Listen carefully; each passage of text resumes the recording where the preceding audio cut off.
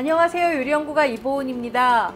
지금쯤이면은요, 음, 무가 약간 단맛이 나서 맛있을 철이거든요. 그래서 제가 아, 지금쯤 가장 만만하게 해 먹을 수 있는 게 또 뭐 있을까 찾아보니까 바로 무생채더라고요. 아주 쉬운 무생채 알려드리도록 하겠습니다.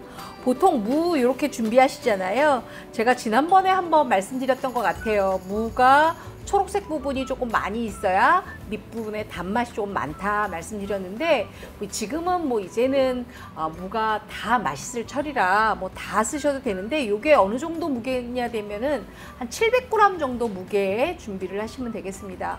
700g 무게면은요 4인 가족이 두 번 정도 맛있게 만들어 먹고 만약에 조금 남았다 그러면 무생채 넣고 상추 넣고 맛있게 우렁 강된장에서 비벼 먹을 사이즈가 바로 요 700g이거든요. 보통 무생채 그러면 칼로 다 써시잖아요. 그렇게 하지 마시고 또 칼질 못 하시는 분들도 계시니까 제가 좀 더 간단하게 알려드리도록 하겠습니다. 채칼이 이런 채칼이 있어요. 이렇게 민, 민 채칼이 민 채칼에다가 이렇게 하시면 바로 이렇게 동글동글하게 나오죠. 보통 편하게 하려고 이렇게 하시잖아요. 그러면 결이 반대로 되어 있기 때문에 맛이 없어요. 그래서 동글동글하게 이렇게 해, 해주셔야 돼요. 저는 사실 손으로 다 채 써는 게 더 편하긴 한데 많은 분들이 채칼로 하면 안 되겠냐고 하시는 분들 계실 것 같아서 제가 그냥 이렇게 준비했는데요. 또 제가 이렇게 하면 그냥 손으로 썰면 안 돼요 하시는 분들도 계실 거예요. 손으로 써세요. 괜찮습니다. 네, 그냥 편하게 하려고 제가 이렇게 했습니다. 이렇게 됐으면 이거는 이렇게 해서 자 이렇게 다 됐으면 이거 가지고 제가 채를 썰도록 하겠습니다.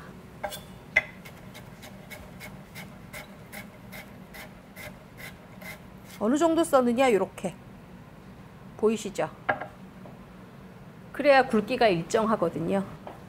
이렇게 썰어 놓으시면 돼요. 안 그러면 채 써느라고 바쁘고 그다음에 채가 안 이뻐서 바쁘고 또 그러시잖아요. 그러니까 그대로 이렇게 한만 썰어 가지고 이렇게 채 써시면 훨씬 더 빠르게 쓰실 수가 있어요. 자, 이렇게 채가 다 썰렸고요. 훨씬 더 쉽죠? 이렇게 편으로 썰어 놓고 나중에 채 써니까 훨씬 더 쉬운데 아, 나는 저것도 좀 힘들어요 하시는 분들은 그냥 채칼 쓰세요. 어쩔 수 없죠, 뭐. 근데 약간 두께감이 있게 쓰시는 게 훨씬 더 좋습니다.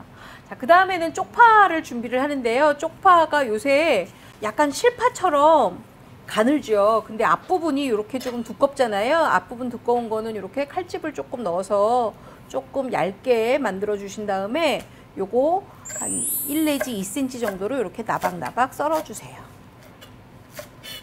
무생채에다가 무슨 청양고추를 넣기도 하고 그냥 빨간 고추 채 썰어서 넣기도 하고 하시는데 그 다음에 어떤 분들은 당근을 넣기도 하시는데요. 저는 그냥 아무것도 안 넣고 그냥 자연스러운 무생채 그냥 만들려고 합니다. 자, 근데 아, 이제 요 무생채 버무릴 건데요. 무생채를 여기다가 이렇게 넣고 채 그렇게 하니까 굉장히 일정해졌죠. 그렇죠? 편하게 이렇게 쓰셔도 괜찮을 것 같아요. 자, 근데 우리가 무생채는 절임을 하지 않습니다. 절임을 하게 되면 많이 늘어지고 그다음에 아삭아삭한 맛이 없기 때문에 절임을 안 하거든요. 그렇기 때문에 미리 밑간을 조금 하셔야 돼요. 요거는 고운 고춧가루고 요거는 일반 고춧가루예요. 요거를 섞어 쓰시는데요. 고운 고춧가루 두 큰술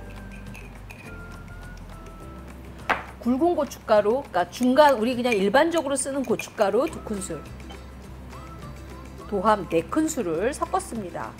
왜 섞었으냐 하면 너무 고운 고춧가루만 하면은요 수분을 훨씬 더 많이 빼기 때문에 어, 무생채가 굉장히 늘어져요. 근데 너무 두꺼운, 그러니까는 굵은 고춧가루, 일반적으로 하는 고춧가루만 하게 되면 무생채의 수분을 많이 안 뺐기 때문에 무생채가 너무 뻣뻣하거든요.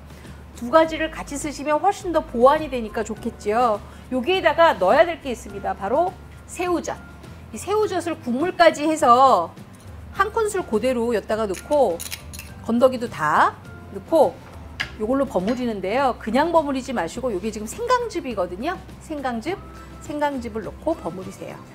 제가 또 이렇게 생강즙을 하면 우리 집은 생강즙이 없는데 어떡하죠 하실 텐데 생강즙은요 그냥 어, 생강 가루를 좀 대체하셔도 되고요. 아니면 생강 조금 준비하셔서 채 썰어 넣으셔도 괜찮습니다. 여기서 버무리세요. 이렇게 버무려야 무에서 수분도 나오고 그 다음에 생강즙 때문에 무의 지린맛도 없어지고 새우젓 때문에 감칠맛이 우선 생깁니다. 이렇게 버무려 놓으세요. 요게 밑간이에요.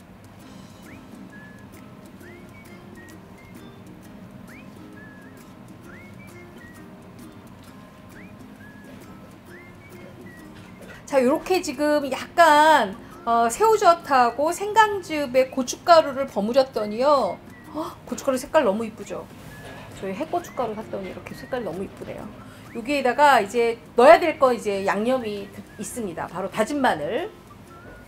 그리고 아까 썰어놨던 쪽파. 그리고 매실청이 세 큰술이거든요. 제가 이쪽 손으로 그냥 넣을게요.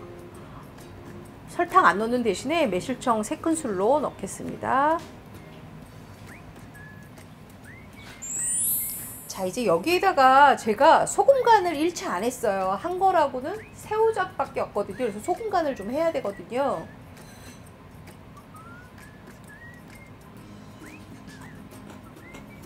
음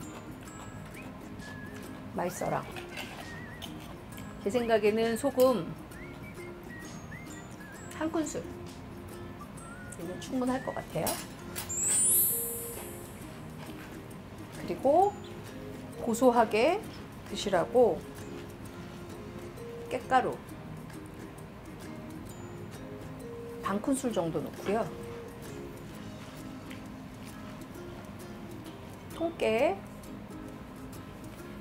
반 큰술만 넣을게요. 굉장히 쉽죠? 자, 요거 이제 간을 한번 볼게요. 사람마다 다 간이 다른데 저는 사실 무생채는 이게 쓱쓱 비벼 먹는 걸로 아주 좋아서 제가 그렇게 간을 세게는 하지 않거든요.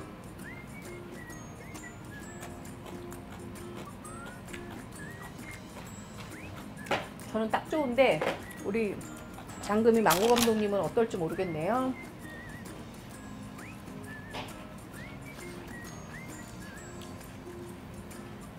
어때요?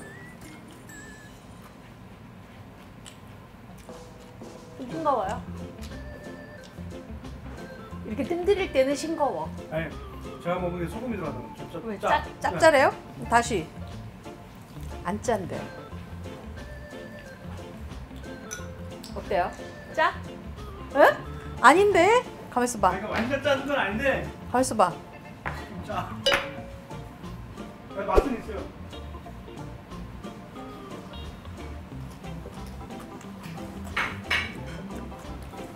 맞는데?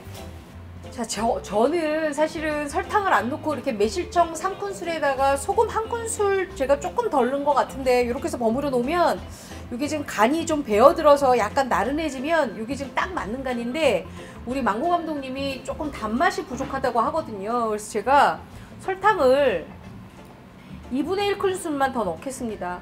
사실 저는 안 넣는데 아 그리고 무생채를요 이렇게 새콤달콤하게 드시는 분들 계시거든요. 그럴 경우에는 설탕하고 식초 조금만 더 넣으시면 괜찮아요. 근데 저는 어, 새콤달콤하게는 안 먹고 딱 그냥 무생채 맛으로 먹어서 이렇게 그냥 준비를 하는 게 좋을 것 같은데 요거 다시 한 번만 잡숴 보세요 망고 감독님 설탕을 하나 더 넣었는데 잡숴 보세요 나는 요게 맞는데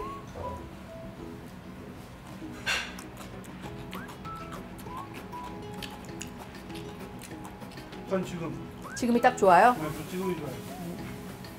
자 그러면 어, 밥에 먹으면 정말 맛있거든요.